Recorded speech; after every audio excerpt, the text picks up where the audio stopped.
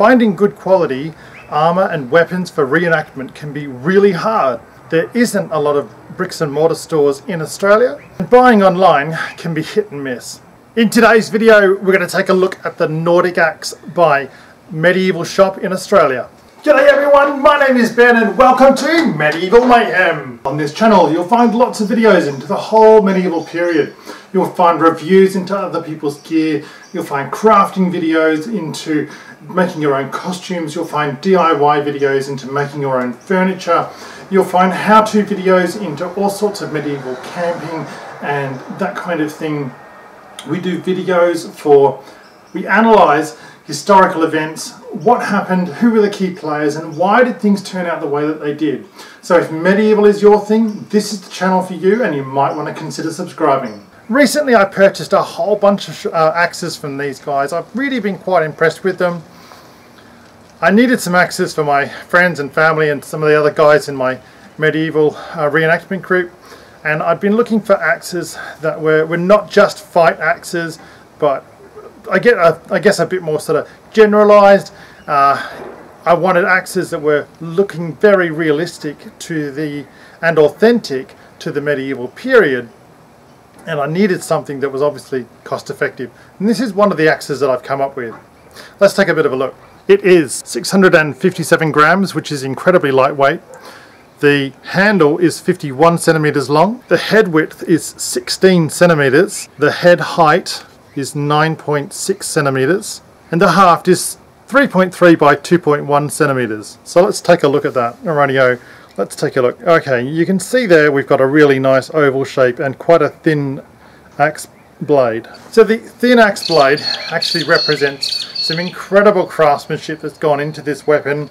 You have a very realistic uh, appearing piece of kit. I really do like that and if you look closely at the blade you can see tooling marks from the blacksmith. I really like the oval shape of the handle. What that does is it gives me an incredible amount of feedback into exactly where my axe is in relationship to the target that I'm aiming for.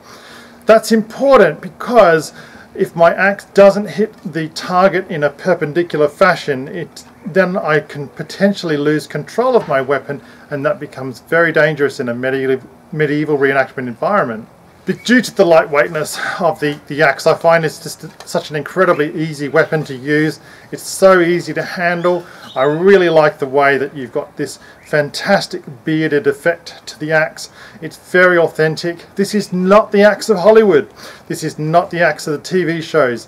This isn't the, the high detailing uh, that you might sort of see in some of the fantasy books. And this is very much an authentic piece and you might find something like this uh, in a museum. It's, it's authentic to the Scandinavians and the Germanic tribes of 1,000 years ago. I like as well, it's, it's a very cost-effective piece. Uh, you can use it just so easily uh, and it, because of the weight and the way that this is constructed it's actually uh, very easy on the ergonomics of how this this comes to to be used the bearded effect on the axe is very good because I can hook shields with it or hook into people with it uh, in, a, in a fight training environment. Now obviously for medieval reenactment, this being a fairly sharp axe, I'm going to need to dull the edge down to 3 millimeters and round off the edges please check with your group as to what your rules are. Righto guys, I really really like this for $61 and 50 cents. This is just a really nice uh, piece of kit, well crafted, well built, uh, well put together and it, it really does have that feel that this is just um, a really nice piece of kit. It looks the part as well. This has such a really nice feel to it. It really looks the part as well. I'm giving this 8 out of 10. I highly recommend it. Okay guys, thank you so much for watching. Please like, subscribe and share. I'll catch you in my next video.